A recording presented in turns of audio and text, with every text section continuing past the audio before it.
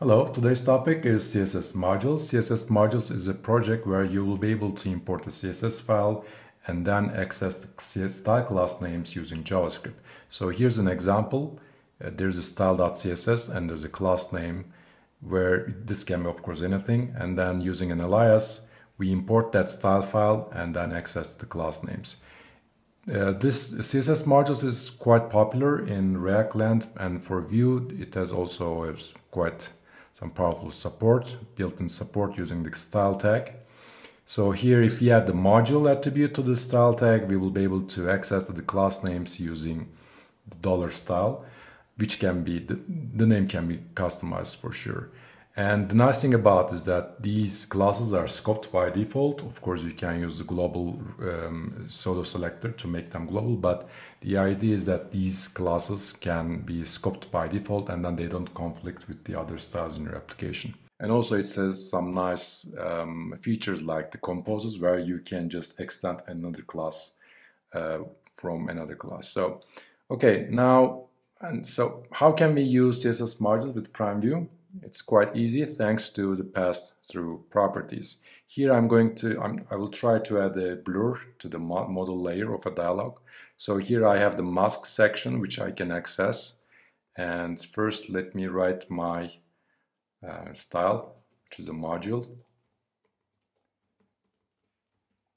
And then let's say my mask backdrop filter something like this. And then let's go to the dialog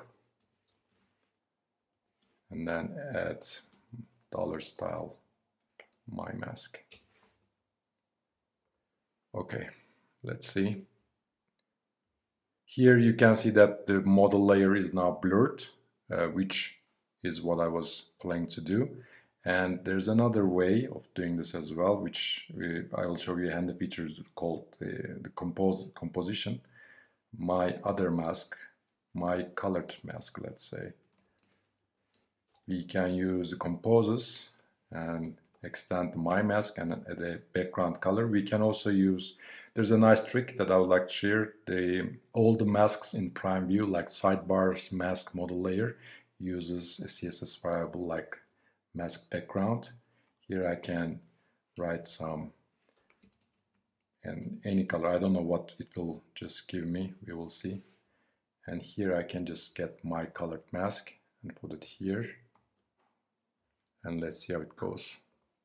Now it was like a pink color, but you can now, you get the idea. Here we are using the background filter to add a blur and then extend it to our my colored mask and we can add more my colored mask 2 we can just change these colors as well. And use my colored mask 2 and let's see how it goes. Yeah and so that you can choose different um, styles based on your preferences and the trick is here that you can use the composes keyword to extend uh, a class name. So um, thanks to the pass-through properties, it's quite easy to use CSS modules uh, with PrimeVue.